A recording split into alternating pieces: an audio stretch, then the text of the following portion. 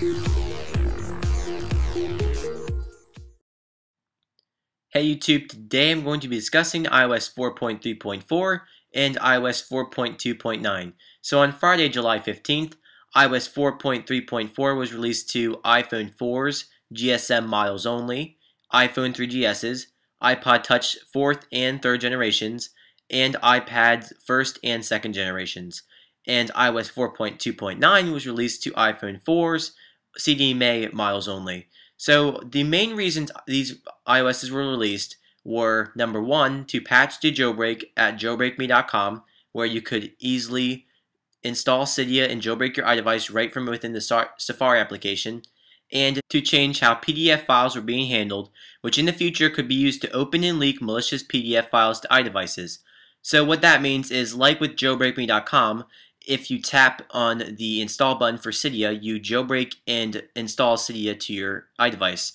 So in the future, if you don't know a certain link or button goes to a malicious PDF file, they could trick you into going to, into a P malicious PDF file and basically installing some malware or a virus or something bad to your iDevice. And Apple doesn't want that on their hands or on your hands, so they released these iOSs. Currently, these iOSs are not jailbreakable as of July 15th.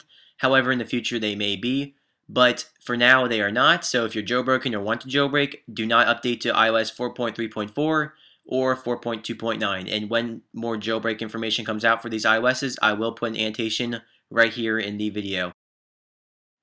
However, after you use jailbreakme.com and you're afraid you're going to download a malicious PDF file, you can go ahead and go into Cydia and download PDF patcher 2 and that will patch the PDF exploit. So basically it uses the PDF exploit to jailbreak and then after that if you download that tweak in Cydia then it will patch it and you'll be fine.